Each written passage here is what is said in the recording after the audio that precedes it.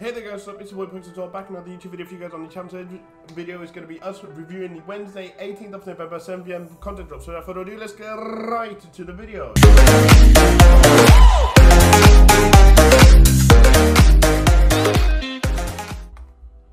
Right then guys, let's have a quick look at what EA have released into the game based on SBCs and then we'll have a quick look at the new team of the week as well because you guys know it is Wednesday.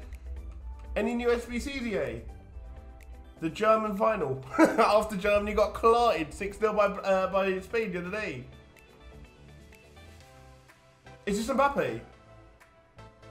This is the League SBC! They brought in the first League SBC! Yes, yes, yes! Go on, EA! Ligue Un, League SBC is officially in the game. You get rewards, packs, small red gold players pack, German premium gold players pack. Okay, I'm going to be doing that as well during the week, but let me quickly bring up the new team of the week to you guys real quick. So this is the new team of the week.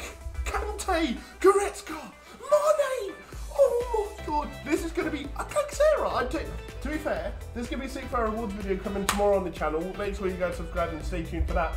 Because out of this team of the week, I would take the Tessera, I would take Insigne, I would take Mane, I would take Kante, I would take Goretzka, Vidal, Hakimi.